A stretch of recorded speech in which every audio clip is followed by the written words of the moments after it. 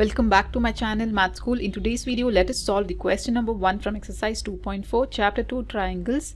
In my previous videos, I have completed the theorems 2.1 to 2.6, exercises 2.1, 2.2 and 2.3, examples 1 to 9. So if you have not watched these videos, do find the link in the description box below or click the I button above. So now quickly let us begin with the video. Question number 1 from exercise 2.4 chapter 2 triangle says let triangle ABC be similar to triangle DEF and their areas be respectively 64 centimeter square and 121 centimeter square. If EF is equal to 15.4 centimeter, find BC. So here there are two similar triangles that is ABC and DEF and they have given us the area of triangle ABC that is 64 centimeter square and triangle DEF area is 121 centimeter square and they have also given us the side of triangle DEF that is EF is equal to 15.4 centimeters and they're asking us to determine BC of triangle ABC. So let us first draw these two triangles that is ABC and DEF. So here let us first of all write down what they have given. They have given us that triangle ABC is similar to triangle DEF where area of triangle ABC is given that is 64 centimeter square. Similarly area of triangle DEF is given that is 121 centimeter square. Then the side EF is given. Again it is 15.4 centimeters.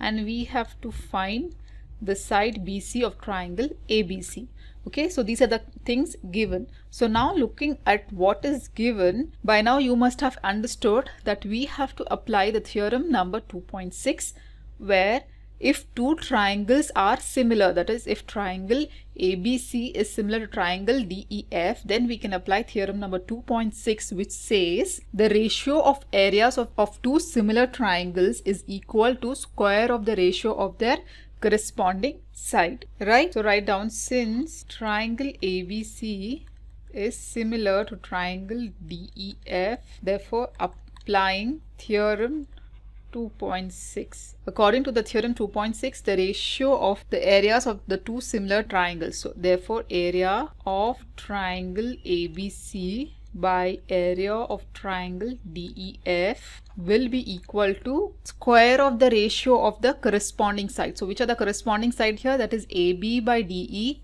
the whole square which is equal to the second corresponding side that is BC by EF the whole square Similarly, the third side AC by DF the whole square. So they have given us here the areas of the two triangles ABC and DEF and they have given the, us the value of the side EF and they're asking us to determine the value of the side BC. So we, we are just going to take this ratio that is BC by EF the whole square.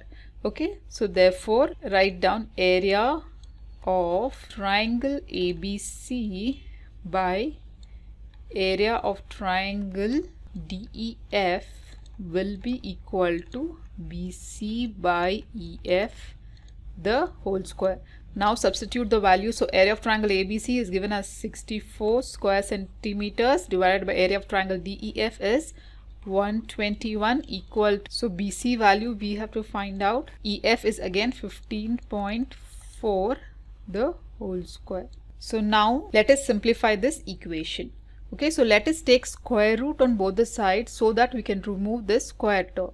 Okay, taking square root on both the sides, we will get square root of 64 divided by 121 is equal to BC divided by 15.4 the whole square and square root of this term too. So here the square root term and the square term will get cancelled and we will be just left with square root of 64 divided by 121 is equal to BC divided by 15.4. So now here let us factorize 64 and 121 and let us find out the factors so that we can remove the square root terms. Okay, so factorizing 64 2 3s are 6, 2 2s are 4, then again 2 1s are 2, carry 1, 2 6s are 12, then 2 8s are 16, 2 4s are 8, 2 2s are 4 and 2 1 times. So here how many times 2 we have got? 2, 1, 2, 3, 4, 5, 6. So here let us group the, the numbers in such a way that we will get a square term. So 2 2s are 4, 4 2s are 8. So we will take 2 cube into 2 cube. So 2 cube is 8 and 2 cube is 8. So 8 into 8 is 64.